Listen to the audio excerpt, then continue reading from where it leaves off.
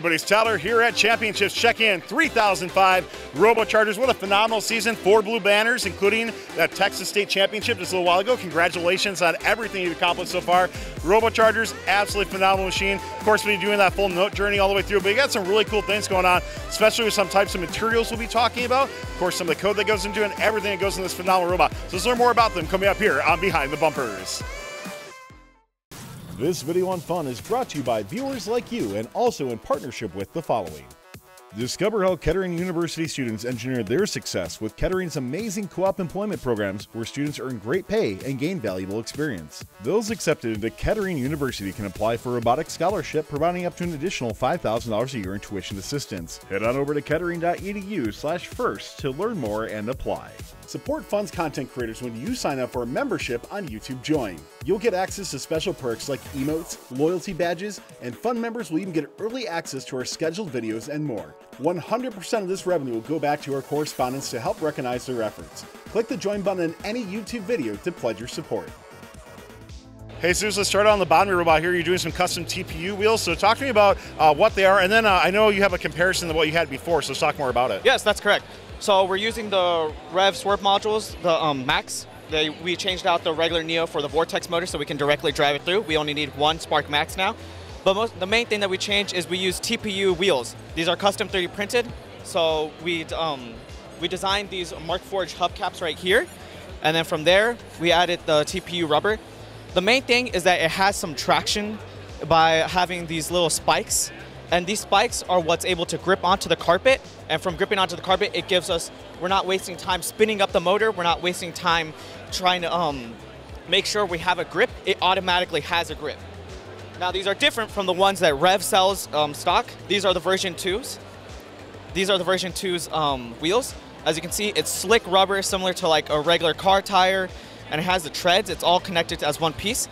But we saw that it would take some time before it would actually start spinning on the carpet.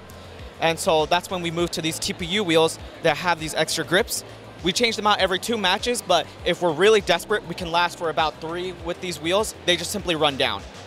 But um, we did a lot of testing with that, and we used the regular um, aluminum hub um, gears right here, so that way they fit straight into the original Swerve module, and it works fine. I noticed you got some printing uh, right over there as well, 200 printer. How long does that take to get a batch out occasionally? Uh, it takes about, I would say, 24 hours or so. Uh, it's sort of a long print, but the nice thing is we have made a large stack of them, so we have a lot of spares. We have about like four different, um, four already built up in case we just need a very quick switch. Sure. And so we brought a printer with us, so that way we're able to constantly just be printing and more and more whenever we need it. And how long does it take to actually switch out a set? Because if you're in playoffs and you got to make that quick switch. What's that looking That's like? That's the nice thing. Uh, because of how easy it is, swapping a uh, swapping a wheel that is already made takes less than a minute. Awesome. So love all the thought process that's gone into it. Yeah, we're starting to see uh, a few teams now go that TPU route. I think we're going to start seeing more and more teams go that route as well too. So very cool to hear with that. Uh, uh, Anaya, let's talk about your uh, intake as well too, and uh, what's as it gone through. Talk to me about that note journey, how that works out, how'd you come up with the intake you're using, and anything else you want to detail on it. So we have a two-way intake. Um, we raised our bumpers so that the note can go easier into the uh, robot. Um, on the side, we have two through beam sensors, and that allows us to stop like whenever it passes like the resistor, kind of like a garage door. Whenever there's something interfering, um, it stops the intake, running the intake. Um, and so, so the note is like not dragging on the ground. But we recently added an, an aluminum plate with Teflon tape, um, so that there's no friction on the note. Um, so we go over here to our prototype, which is kind of like our, um, which are, is also our spare. Whenever the note kind of, I'm gonna do it? Okay, yeah. Whenever the note travels through, it'll enter through here or enter through the back and kind of go into our pivot mechanism, which is kind of like a handover um, mechanism. And so it keeps that vertical compression on the note whenever it goes into the launcher.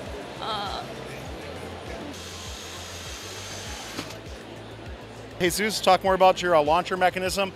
Um, so our launcher system, we went through about 11 different iterations of it. We were doing a lot of testing and trying to figure out what, where exactly do we want to place the rollers. We knew that these rings, they're flexible and that you can easily bend them. And so we needed to make sure that we got enough contact with the ring itself to actually launch it out with the necessary um, velocity and direction. And so that's when we came up with this nice bulky design. What it does is we have four of these large um, three-inch rollers on top, four, uh, another four at the bottom, and each um, each two pairs they're driven by one vortex. with these vortexes, since we don't have any extra shafts, we're saving space, we're saving weight with that, and we go directly into um, shooting these uh, rollers. Another thing is that we knew that we need we need to make sure that we pivoted the roller so that way we would able to make shots from different um, areas of the field, and so that's why we ended up having to pivot on the side and along with that, we have these build-up rollers that um, start spinning the um, note itself, so that way it has already enough speed. So when it reaches these, they already um, they automatically shoot as quickly as possible. So you're running four Neo Vortexes currently on that? Yes. So what made you determine like you needed that much power in regards to your shot? Uh, we been we did a lot of testing in terms of where we wanted the rollers to be, and so when we um we initially had roll, two rollers on the side. We had some like two at the top, two at the bottom, but that was not enough force. That wasn't like enough contact. So that's when we moved to using four rollers. And to power these four rollers, we realized that the Vortex would be the best because we wouldn't be losing any sort of like, um, sort of uh, like speed or like we wouldn't be losing like having extra gears in there. So that way it just goes directly to powering the rollers and we're not wasting any sort of like energy elsewhere. A lot of teams that we've been talking to as they continue uh, learning more about the meta of this game and stuff, where their shot locations from has changed, or even their passing locations has changed a lot. Has that changed for RoboChargers at all? Um, well, we, we haven't necessarily changed our positions, but we have added more positions. We have sure. a lookup table that we were able to use. Basically, we're pinpointing different areas on the field in terms of yards and what sort of angle, what sort of velocity they need. And the nice thing is that the vortexes, you automatically can change the, um, all those things. So we were able to make those changes very quickly and we're able to add more onto our lookup table. So that way it has one point and another point, and if there's any sort of in between, it's able to guess accurately as possible. This this material that we're running on a robot, um, it's called uh, SRPP, self-reinforced polypropylene. Sure.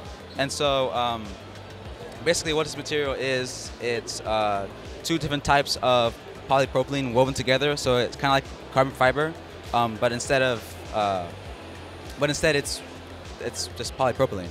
Um, and so what this allows us to do is have a um, uh, buys us more, manu uh, more manufacturing capability because SRPP is laser cuttable. It's also a Loctite resistant, um, has greater tensile strength than polycarbonate, and is less dense.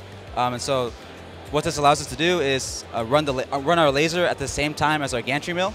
And so we're able to um, manufacture parts for our launcher at the same time as we're um, uh, making sprockets for our uh, our uh, pivot. Um, and so, uh, speaking about our pivot um, for our launcher, we have a really nifty uh, way of tensioning the chain for, um, for our pivot. There's a turnbuckle right here, and so basically, as we tighten or loosen the turnbuckle, it um, it pivots and it either tightens or loosens the tension on the chain. And so this is a really nifty way we um, tension the pivot on our launcher. Yeah, I mean, very much like a big package. When you're talking about this, initially when I saw your robot, I'm like, wow, they just put carbon fiber everywhere on the robot. but it's cool to hear about your choice of material, how you've gone through this well too. Uh, one thing I just want to ask Jesus is, there's anything in regards to like your climbing mechanism that you want to mention or talk about as we start to wrap up on your robot? Uh, yes. So what we wanted to do in the beginning of the season, we make sort of like a list of what we need to accomplish for the season's competition. And so one of the things was we wanted to be um, friendly towards other teams that are trying to climb so we can harmonize. So with that, we were like, we need something that's quick but also um, friendly for others. So what we did is we decided to make this climber that works by us going on the side of the um, stage, so that way we can climb and have space for another team to go in. So the way this works is that these are um, constant um, constant force springs, so they're constantly wanting to go back straight in their position, but we force them down into this curve, so that way it holds its place. And then from there, there's this, um, we have a servo right here that drives this 3D print. This 3D um, print locks the gear into place. Once we move this out the way and the gear is free to move, this automatically springs up by itself. We also have a Neo motor driving that so that way we can speed up the process. And then another thing is the hook is directly with a string attached right here. So that way we can reel it back in whenever we, um, we end the match. We also included a magnet here so that way when we slam into the chain, it, uh, um, it can uh, stay attached to the hook and we don't have to worry about trying to search for the hook because that is an initial challenge that we faced in our, one of our competitions.